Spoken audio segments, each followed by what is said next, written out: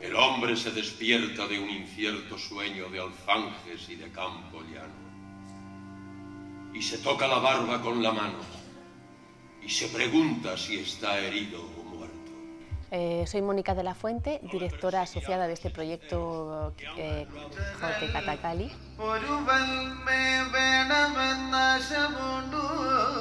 Quijote Catacali es una adaptación de- del Quijote hecha eh, mediante las convenciones del teatro clásico Catacali y otras eh, técnicas también de teatro europeo, teatro, teatro occidental.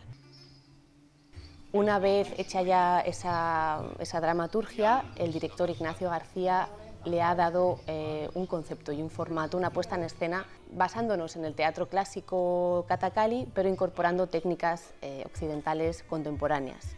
El teatro clásico Catacali eh, tiene tres fuentes principales. Una es el teatro sánscrito, que es muy antiguo, se basa en unas convenciones de hace 2000 años, casi del tiempo de la poética de Aristóteles, un teatro que todavía se sigue hoy representando.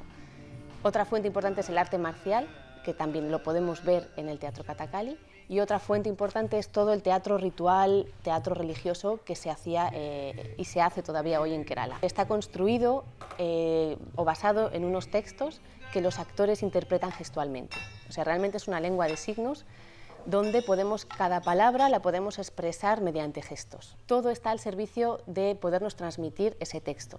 Entonces tenemos que fijarnos muy atentamente y ver muy de cerca el teatro Catacali para poder captar cada una de esas, de esas pequeñas eh, movimientos que hacen con, con los nueve estados de ánimo que están detrás de ellos. Los vemos caracterizados de una manera muy elaborada. O sea, los vemos con unos maquillajes, unos vestuarios que lo que nos intentan decir mediante este vestuario es que son seres que pertenecen al mundo imaginario.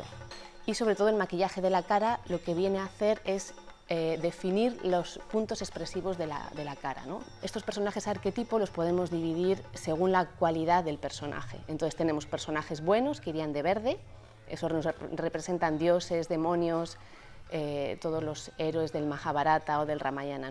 Otro color que utilizan es el rojo, lo que ellos llaman barba roja.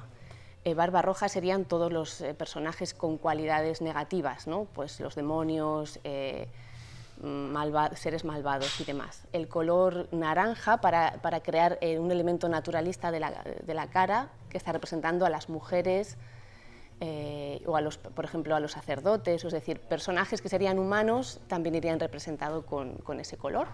El negro es otro de esos elementos eh, negativos también, pero aunque tenemos que entender que no es, no es un mundo donde se nos, dice, se nos habla del mal y del bien, ¿no? sino que son diferentes energías donde son cualidades de los personajes. A la hora de adaptar el Quijote, que sería yo creo que también de interés, ver cómo esos personajes han entrado a participar dentro de, de esos arquetipos. ¿no?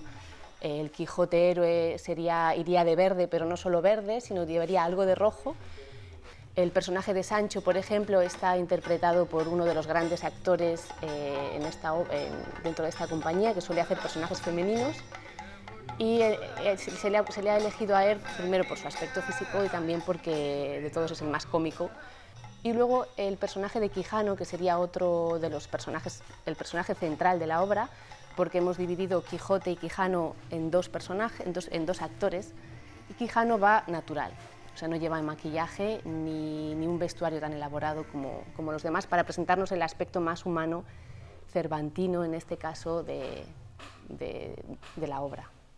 Quijano en este caso nos está interpretando o nos está ayudando a entender qué es lo que hay detrás de esas aventuras, ¿no? como lo haría Cervantes. Es decir, yo os estoy expresando, estas aventuras caballerescas, pero detrás os estoy comunicando aspectos humanos y de, la, sensibilidad. El elemento del vídeo, que sería un tercer elemento que está detrás, eh, detrás de- de- del mundo que está ocurriendo, sería un poco la mente de Quijano sería un poco sus obsesiones o, o intentando reflejarnos también o acercar al público de una manera conceptual eh, lo onírico de, Quijano, pero también nos crea eh, otro plano, otra escala, sobre todo pensando en que donde se actúa su- suelen ser espacios grandes, ¿no? como es el caso del Centro Niemeyer, donde eh, estamos viendo bastante lejos al actor, ¿no? o tenemos diferentes, lo vemos de diferentes ángulos. Lo que queremos es dejar claro al público que se fije, que se fije en su rostro y crear eh, ¿no? como otra, otra dimensión de, ese personaje, acercándolo así al público. Juanjo Llorens, eh, yo creo que es uno de los grandes en este país ahora en, la luz, ha conseguido pintar y dar, y dar eh, como ese aspecto de, de cuadro barroco a muchas de las escenas manteniendo y dejando siempre, poniendo en valor el Teatro Katakali. Este año se celebra el 60 aniversario de Relaciones España-India y para, para, ello tanto la Embajada de la India como el Ministerio de Cultura de la India eh, a través de la Casa de la India se están organizando una serie de eventos durante todo, todo el año.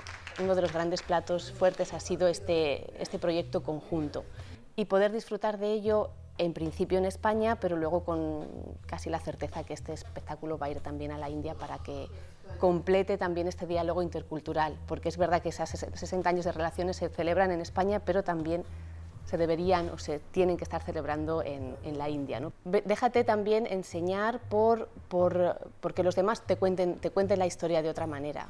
Veo que es, un, eso es una experiencia a través de, de, lo visual, a través de lo sonoro. En cuanto ves el Quijote y puedes reconocer a esos personajes, o cuando los cantantes en su lengua malayalam nombran a todos nuestros personajes, Quijote, Sancho Panza y Dulcinea, y lo estás entendiendo también y lo estás recibiendo de manera sonora, creo que se produce una, interesante fusión cultural también. ¿no? Pero yo creo que en ese caso Cervantes es, es el que nos apela y nos dice, estoy hablando del ser humano, y lo estoy hablando para ti, y lo vas a entender porque además estoy contándote una historia que conoces.